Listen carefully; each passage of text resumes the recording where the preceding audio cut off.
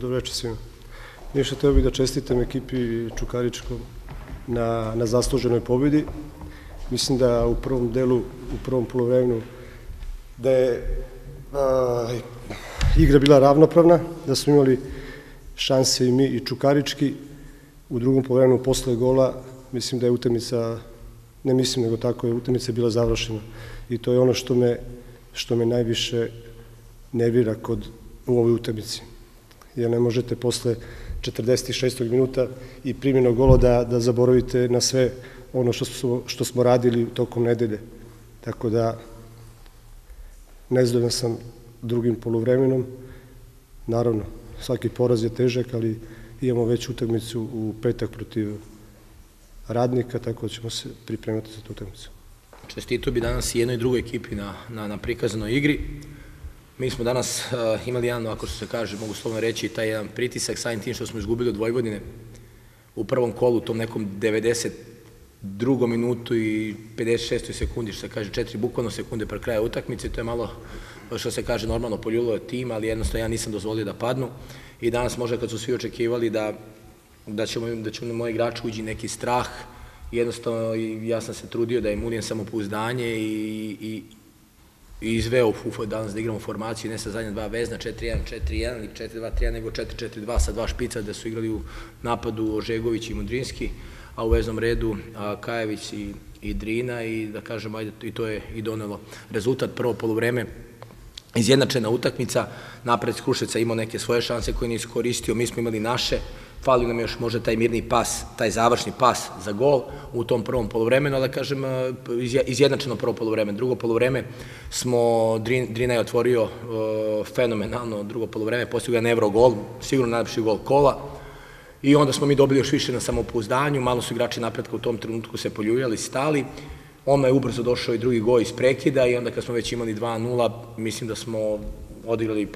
sa 2-0, imali smo mnogo samopouzdanja, zatvorili se prilaz našem golu, imali još neke šanse koje nismo iskoristili i da kažem, to prvo povreme bilo izjednačeno, to drugo povreme smo mi bili bolji. Čestitam jednoj i drugoj ekipi, čestam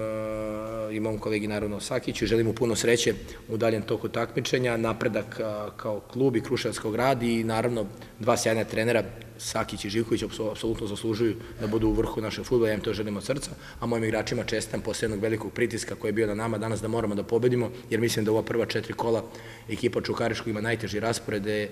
dva gostovanja, Vojvodina i Crvena zvezda, dve kući, Kruševac i Lučani, znači sve sjajni timovi. Eto, mi smo ovu drugu uspeli utakmicu da, da, da preskočimo, sad nas očekuje u nedelju utakmica protiv Crvene zvezde, ali kažem, ovo je bilo bitno da se pobedi, mi smo pobedili i još jednom čestam mojim igračima. Dobro pitanje, dobro pitanje. Mi smo znali ovaj da ekipa Čukaričkog izvodi prekide na prvu stativu, da Drinčić izvodi odlično prekide, kornere i sve ostale prekide i iz tog razloga smo ovaj, i, i stavili tu na prvu stativu više igrača i trebalo je da bude bolje pokrivena prva stativa. Radili smo o tome, videli smo, analizirali smo prekide Čukaričkog, ali eto, dešava se i kad, kad ono predvidiš i radiš na tome da jednostavno futbol ti donosi neke situacije gde jednostavno ne možeš da uradiš ono zašto se spremi. Sigurno da je, da je bilo ovaj, greške u, u, u postavljanju, ali ne mogu sada da tvrdim ko je pogrešio, jednostavno video sam samo jedno, tako kad budem pogledao analizu i analizirao, vidjet ću ko je pogrešio. E, ovo je, ovo je uh, najgore, najgore izdanje u drugom polovremenu ekipe, naše, moje ekipe. Sigurno ono što, što me jako nervira to je da, da ekipa posle primjenog gola jednostavno nije igrala. Ja mogu da razumijem da smo izgubili 3-4-0, ali da, da smo nastavili da igramo, da smo želeli da, da igramo našu igru, ono koju, koju smo, koju smo ovaj, uh, ono što smo radili na trenizima i kako smo se pripremili za utakmicu. U prvom polovremenu to je bilo dosta dobro, u drugom ponavljam, znači posle tog odličnog gola Drinčića jednostavno uvuko se neki strah, e, nestalo je samopouzdanje kod mojih igrača i to me ovako jako, jako, jako ljuti, jako nervira. Dve različite formacije, mislim. To, pa dobro, sigurno mi se više dopada, da kažem, ova formacija, ova prva, ali kažem, kad igramo kući nema razlog da, da ne igramo sad baš pis, jer mi imamo dva kvalitetni igrača, to su Modrinski i Ožegović, obojica zaslužuju da igraju i to je formacija 4-4-2, jer dosta ekipa, da kažem, napredak je jedna od redkih ekipa koja ovako hoće da igra i koja stvarno ima fenomenalan napad i vezni red i moram slobodno da kažem da mi se jako sviđaju kao tim. A, ostale utakmice, kući ćemo većinu utakmice igrati u formaciji 4-4-2 sa dva špica, a na strani jednostavno zavisi od protivnika sa igrom protiv Crvene zvezde, protiv Crvene zvezde, pošto Crvena zvezda, sami znate, i Partizan definitivno imaju dva najmoćnija tima u ligi, najviše su para uložili i,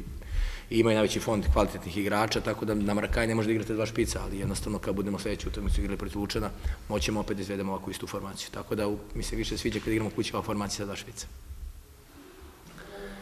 Sigurno ovaj da, da to igrač koji, koji ima brzinske karakteristike fenomenalne. I ovaj želeo sam ulaskom njegovim ulaskom da ovaj da napravimo proboje po boku njegovom brzinom međutim radio je totalno neke stvari koje koje jednostavno nije nije trebao da radi ulazio unutra i faktički sam sebe markirao. Tako da ali s obzirom da je još uvek mlad možda i ne razume dobro srpski jezik tako da ima vremena za njega da se popravi